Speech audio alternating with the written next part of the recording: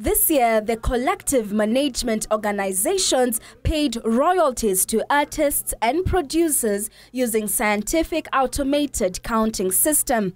The Communications Authority has directed media bodies and individuals, including artists, to ensure they have received a compliance certificate to guarantee further payments and agreements with the government by June this year. This certificate will be issued on compliance for all categories. One of the key elements that we shall be evaluating for eligibility for annual compliance certificate is compliance with copyright obligations in accordance with the license condition as previously stated. In this regard, licensees shall be required to, among others, provide evidence from KECOBO or the CMOs that they have complied with payment of music or any other applicable royalties.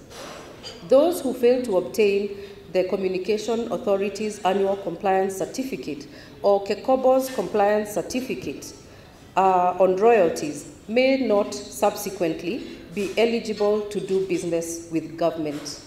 This emerged during the launch of the 2020 Kuza Awards, which the Communications Authority of Kenya has introduced two new categories, namely Upcoming Broadcasters Awards and Copyright Awards to accommodate the changing media industry in efforts to upscale the industry as a whole.